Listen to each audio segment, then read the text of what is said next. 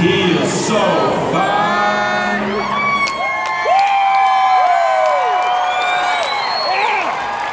That's what I say.